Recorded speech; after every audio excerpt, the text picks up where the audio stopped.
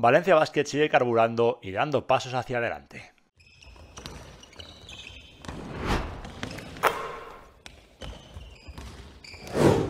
¿Qué tal? Muy buenas, bienvenidos y bienvenidas a un nuevo vídeo aquí en el canal. Ya sé que por desgracia lo repito mucho, ya han pasado días del último vídeo, que encima fue un poco diferente. Gracias, por cierto, por los comentarios.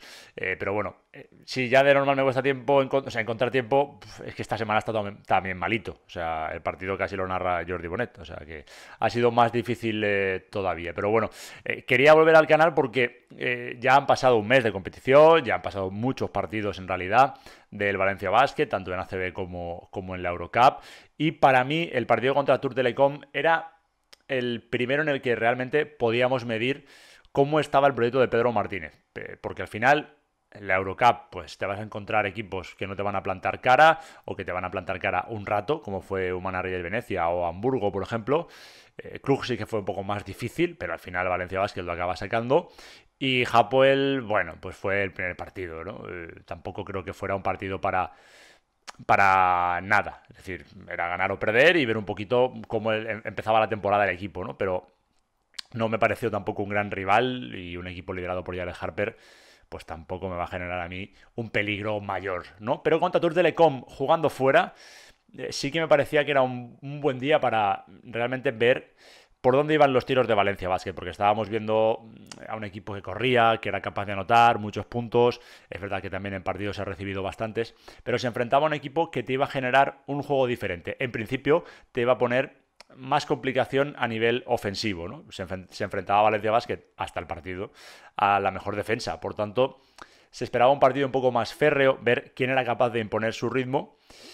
Y yo ahí tenía un poco más de dudas, primero porque no estaba Montero, segundo porque a ver cómo volvía Jovis después de todo lo que le ha pasado al pobre hombre. Ver cómo estaba también Sergio de la Rea en un rol de más base puro a la hora de tener que dirigir. Y luego porque Goran Filipovic, pues, pues bueno, está para lo que está y para mí está rindiendo bastante bien. ¿eh? Eh, entonces era un día para ver, bueno, pues cómo se las apaña Valencia Basket, en principio sin poder correr. Luego, si ponía su ritmo, pues perfecto, ¿no? Pero creo que realmente era el primer día para decir, vale, pues esta es la vara de medir de Valencia Basket. Y la verdad que para mí fue la mejor primera parte de toda la temporada y Valencia Basket lleva muy buenos minutos. Pero creo que mientras muchos esperábamos que Valencia Basket pusiera por delante su talento ofensivo para poder correr, creo que el equipo encuentra sus primeras ventajas ya en el primer cuarto con dos contra unos. Con ese trap mientras subía el balón eh, el base de, de Tour Telecom, ya empieza a recuperar, ya empieza a correr y ya empieza a tener sus ventajas gracias a la defensa, eh, que es para mí eh, una de las eh, partes diferenciales de este, de este, equipo, porque es lo que realmente te permite correr. Si eres un equipo que roba balones o que por lo menos tapa las líneas de pase, en el balance ofensivo vas a ser más rápido, vas a ser un equipo más difícil de parar. Pero claro, la idea que teníamos era ver un partido más feo, a pocos puntos. Pero vamos, nada que ver. Yo creo que el equipo encontró la confianza gracias a esos robos y luego eh, gracias a esa actitud defensiva, destrozó por completo a Tour Telecom. Entiendo que no fue fácil tampoco para el jugador de Tour Telecom, después de todo lo que haya pasado en Ankara, eh, afrontar un partido así, pero bueno, eh, luego es verdad que en la segunda parte, sobre todo en el último cuarto, mejora mucho y, hace que el partido, bueno, pues acabe mm, no acabes al 100% feliz porque te queda el recuerdo de lo último, pero es verdad que los 30 minutos para mí son muy bueno, sobre todo la primera parte, porque es que Valencia Basket no encuentra rival. Y luego, eh, para mí, que era la principal duda, ver al equipo un poco jugando en estático. Es verdad que Tour Telecom defiende de aquella manera, sobre todo, eh, como comentaba Jordi en la retransmisión, Jordi Bonet, eh, el lado débil para ellos era un poco inexistente, ¿no? Y pero veíamos siempre un punto de partida, que era balón al lado izquierdo, un bloque de continuación y a partir de ahí ver qué se podía generar. A veces salía con un pase de Xavi, a veces, bueno, pues no terminaba en canasta, eh, pero se generaba un balón y un pase de seguridad a la esquina, que por ejemplo fue una jugada de pizarra de tiempo muerto que acaba con un triple de Josep Puerto, sale a la perfección haciendo lo mismo, yendo hacia adentro una penetración por el carril central, le salen, dejan libre la esquina y Valencia Basket pues eh, vuelve a castigar eh, con Semio Yelei, eh, con el rebote ofensivo que está siendo una de las tónicas del equipo, con el talento que encuentra de la REA en, ese momento que hace una canasta de Jaquel Alexander totalmente roto, con un Branco que se está cogiendo cada vez más.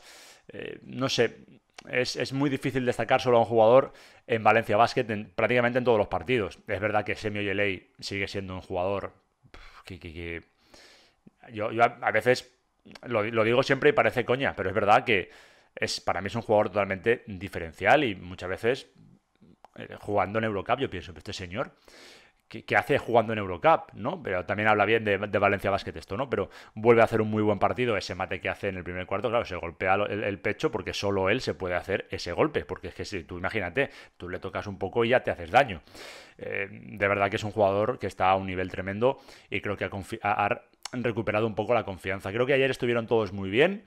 Eh, salvo el momento este mítico de Hub en el palmeo, que bueno, pues eh, no sé muy bien por qué no coge el balón, intenta hacer un palmeo con una mano que parece un jugador de volei y se le acaba escapando con el posterior cabreo de Pedro Martínez que bueno, pues se le, leyeron bien los labios y si no, pues tenéis el vídeo en el, en en Twitter, el cabreo de Pedro Martínez, pero luego Hub tiene buenos minutos dentro de lo que estábamos viendo de Ethan Hub, que sigue lento, que hay una acción en uno, prácticamente en un 2 contra 1, o en uno, no sé si fue al final uno contra 0, no recuerdo, pero podía haber hecho un mate tranquilamente, pero espera a fintar, a ver si llegaba al otro, le pone el tapón, luego lo deja una bandejita, bueno, creo que eso refleja la falta de confianza, pero acaba bien el partido para mí, y yo creo que, creo que el equipo está a un nivel de confianza muy bueno, y por eso ayer para mí era un buen día para ver cómo atacaba Valencia Basket una defensa tan férrea. Y lo hizo pues jugando muy bien en estático y cuando podía correr, corría.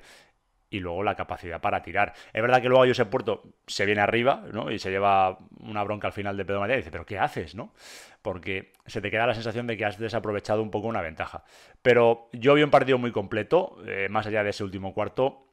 Vi un partido muy, muy, muy completo del equipo aprovechando todas las ventajas y sacando buenos tiros. Por esto, en los últimos vídeos, o en uno de los últimos vídeos, o no sé también si en la cancha de tribuna, cuando yo explico lo de que hay que mm, apostar más si hay que apostar por algo, por el perfil del 5 que por el perfil del tirador, es porque creo que el equipo iba a generar más tiros, por la idea de juego de Pedro Martínez, que es menos uno contra uno o menos individual que la idea que pueda tener, por ejemplo, Alex Mumbrú. Entonces, si el equipo empieza a carburar, evidentemente va a cohesionar el grupo, va a jugar un poco más de memoria cada día mejor. Ya veremos cuando esté Chris Jones, que ese sí que es un buen melón por abrir. Yo tengo muchas ganas de verlo, por cierto. Y al final va a acabar moviendo mejor el balón y va a acabar encontrando buenos tiros. Y el ejemplo perfecto es el día de ayer. Defienda mejor o defienda peor el lado débil el equipo rival. Valencia Basket mueve a la defensa con el movimiento de balón, con los cortes sin balón y acaba encontrando buenos tiros ya entrarán o dejarán de, o dejarán de, entrar, lo diré. Pero ese es el primer paso para que entren. Y, se está viendo. En los últimos partidos, Valencia Basket está mejorando su, su, porcentaje. Ya sabéis que a mí no me gustan los datos, pero está mejorando sus porcentajes y está lanzando con más confianza. Cualquier jugador puede atreverse a lanzar. Incluso Jaime Paradilla, que para mí abusó el otro día en ACB, pero es un jugador que ahora en la esquina puede tirar y, le llegan buenos tiros a los jugadores de, Valencia Basket, mucho mejores de los que veíamos al principio de temporada, porque el equipo está entrenando, tiene ese tiempo que no tenía los últimos dos años por jugar en Eurocup y se está viendo ese paso adelante a nivel, eh, a nivel grupal. Es verdad que luego te falta esa referencia interior, yo creo, para poder meterle un balón y, generar, ¿no? Digamos, pero mientras no la tiene, todos, salvo Izan Hub, tienen capacidad para tirar. Mayer también mete alguno que otro Sestina, ¿no? Y, para mí eso refleja que el, equipo, todo lo que ha hecho ha sido crecer. Y solo ha perdido un partido. Luego yo en el ambiente sí que noto que hay... No, sé muy bien por qué, que igual soy yo, pero noto como que siempre hay que buscarle la parte negativa. En las victorias y en las derrotas hay cosas buenas y cosas malas. Siempre, y siempre lo hemos dicho. Y es verdad que esa relajación, pues cuesta, el no tener el pivo, tal, que sufres y zanjap, ok, pero hay muchas más cosas positivas que cosas negativas, ¿no? Y yo creo que el equipo cada día juega mejor. Es verdad que a mí me sorprende ver el juego tan rápido, porque es un cambio totalmente brutal de lo que veníamos viendo en los últimos años. Y me esperaba un juego más pausado de, Pedro Martínez, no porque el Manresa fuera así, sino por otro tipo de proyecto. Pero nada que ver, el equipo se ha cogido, le gusta, todos hablan maravillas de, del eh, ideario de Pedro Martínez y se está notando, porque todos han dado un paso adelante, por lo menos los que estaban el año pasado en Valencia ahora son mejores jugadores. Eh, por ahí anda un dato de, Pradilla que creo que ya duplica o triplica, no sé, los rebotes que ha capturado esta temporada, también porque el equipo va a más, tira más y captura más rebotes. Eh, la única parte negativa pues sigue siendo Ethan. Yo ya lo dije en su momento que si a este nivel, con Rivers pasaporte europeo cuando lo tenga, yo no me lo no veo un escenario en el que Rivers salga, porque ahora está muy por encima de Ethan Hub. Ethan Hub está a un nivel muy malo, está eh, lento, pesado, y eso que es un jugador que físicamente está bien, pero se le ve pesado, se le ve lento y se le ve falto de confianza. Vamos a ver si por lo menos los minutitos que tuvo contra Tour Telecom en esa segunda parte le ayudan o en esos buenos números que acaba haciendo le ayudan para crecer y a ver si lo puede mantener en el tiempo, por lo menos este domingo contra Surne Bilbao Basket y seguir intentando dar pasos adelante. Si no, vamos a ver qué ocurre siempre y cuando Valencia Basket decida apostar por ese perfil que parece que ha bajado un poco la intensidad en su búsqueda. Dicho lo cual, por no enrollarme más, a mí me está gustando mucho el equipo y creo que el partido contra Tour Telecom refleja lo que es en realidad este Valencia Basket, no tanto el equipo que solo corre y tira y por reducirlo mucho, ¿vale? Que estábamos viendo en los últimos partidos de ser un equipo súper rápido y tirar a veces con poca mm, o elegir no bien los tiros y lo que vimos con Tour Telecom para mí refleja lo que quiere ser este equipo y fue al igual que, que la segunda parte contra Venecia, tal cual se lo preguntaba Pedro Martínez. Yo creo que cada día vemos más al Valencia Basket que quiere ser. Lo hemos visto 20 minutos contra Venecia, lo hemos visto 30, 30 y poquitos contra Tour Telecom, poco a poco el equipo pues lo irá, lo irá alargando y ya tener 30 de ese nivel me parece espectacular. ¿Va a ganar siempre Valencia Basket de 300 puntos? Evidentemente no. ¿Va a meter siempre los triples? No, evidentemente no. Pero vemos siempre la misma idea de juego y vemos siempre al mismo equipo, rival, eh, no importando el rival que esté. Y esa es la gran virtud de este Valencia Basket, al menos de momento. Y eso sobre todo porque el equipo va mejorando. Eh, así que yo creo que eso está siendo, están siendo buenas semanas en Valencia Basket. Os lanzo la pregunta a vosotros y a vosotras. ¿Qué es lo que más está gustando de este equipo? Si creéis realmente que el partido contra Tour Telecom, no estoy sacando conclusiones, pero sí para medir un poco este primer mes de competición. Eh, si os preocupa Hub, si os está gustando eh, más Montero que ninguno, no sé, cualquier cosa, me la podéis dejar como siempre en los comentarios, yo os leo, yo os respondo y bueno, lo de siempre, a ver si consigo recuperar un poquito más la velocidad aquí en el canal. Nos vemos en el próximo vídeo, suscríbete, por cierto, si no lo has hecho y lo dicho, nos vemos en el próximo vídeo. Gracias como siempre y sed felices. Adiós.